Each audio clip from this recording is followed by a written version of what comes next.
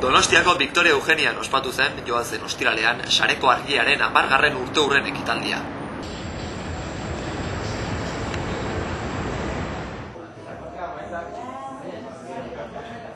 Ordu bete inguru iraun zuen ekitaldian amar urteotako ibilaldia jorratu zuten eta horren aurretik amazortzi barra lalogita mezortziko auziperatuen atxiloketak gaitzetsi eta elkartasuna adirazi zioten.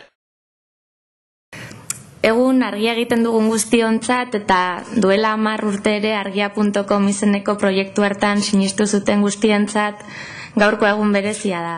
Eta horregatik... Esti parada, argiako kideak egin zituen harren lanak.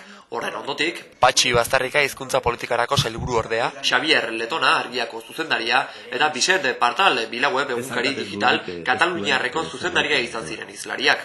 Eta, eh, Patxi Bastarrikak sarearen garrantzia nabarmendu zuen. Eh, esan nahi konizueke, aldez edo moldez, hemen gauden guztiok, Euskararen sarean gaudela.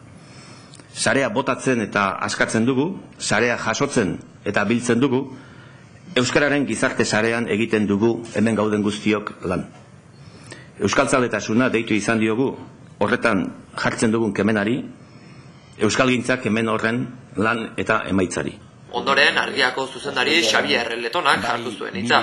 Eta baita ere, e, sound slide izeneko ikusentzunezko e, euskarri batekin, ba, e, datorren urtean zenbait gauza ere egingo ditugu eta hor izango dira ikusgai. Bestetik erredakzioan orain ari gara bukatzen e, urtero kosasoia izaten da euskal e, kulturaren urtekaria eta orain arte hau beti paperean bakarrik e, agertu izan da eta 2000 eta sortzigarreneko edizio hau internetera ere eramango dugu eta horri izango da ikusgai e, urte hasieratik urtarrilatik e, aurrera. Amaboste minutuko bideo emanaldia ere izan zen argiaren amar urteak labur bilduz.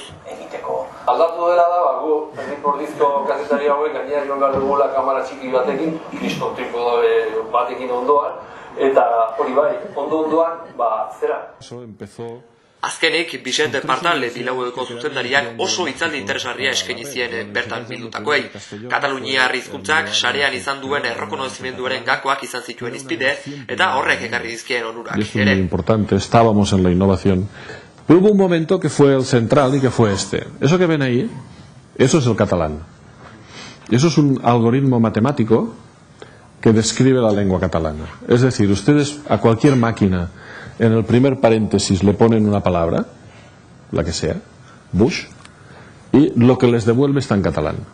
Quiere decir, si en un párrafo encuentras una palabra más la palabra es más o bien dels o bien cuan o bien qué, esa página tiene que estar en catalán por narices. Itzaldien ostean, luntxa izan zuten.